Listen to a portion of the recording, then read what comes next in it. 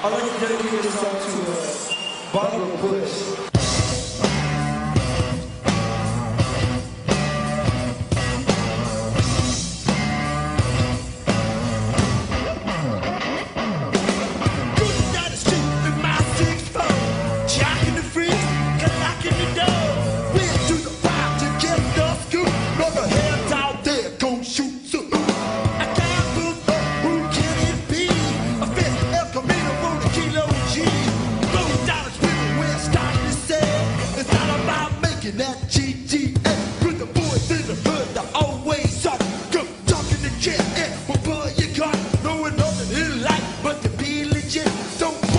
cook, cause I ain't said shit.